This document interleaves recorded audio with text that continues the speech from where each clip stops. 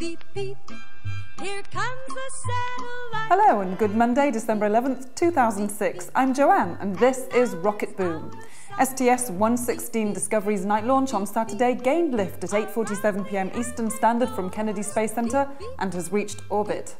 The crew of seven astronauts is expected at the International Space Station tonight at 5.05 Eastern Standard Time to resume building out the city in space.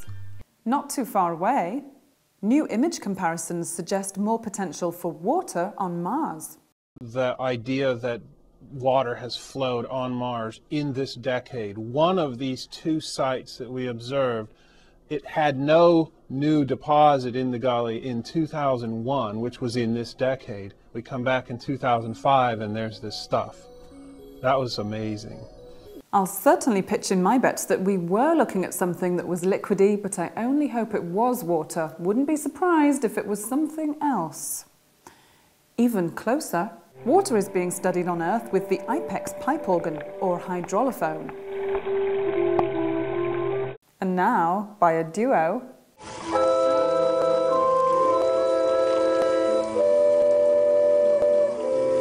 Admittedly, there is some dissonance.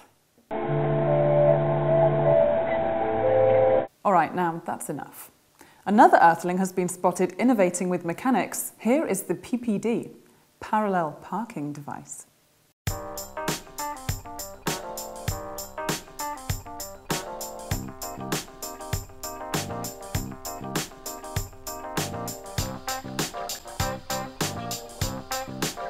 One small step for parallel parking, one giant arc for vehicle kind. Rocketboom in Second Life. I'm headed over to Sunset Beach at 200 196.23 in yet another kind of space to visit Tanith, who's giving away free Rocketboom players. Hello and good Thursday, December 7th, 2006. I'm Joanne and this is Rocketboom. Today, it's all about floating in air, free suspension and land speed. In this dark end of town on this dark street, If that wasn't crazy enough, it's the recent Archie McPhee catalogue of surprising novelties, good jokes, and useful articles, including The Miracle Bread Stamper, Cold War Unicorn, Horrified B-movie Victims playset, and let's see, there's the Catapult, the Gummy Heart for practicing cannibalism apparently, an Avenging Narwhal playset, oh, and how about the Nihilist Chewing Gum? No flavour. And while all that is quite delightful, you won't see me eating any of that poppycock. In my cupboards this Christmas, it's green tea from the Saharas of the northern equatorial regions of South America.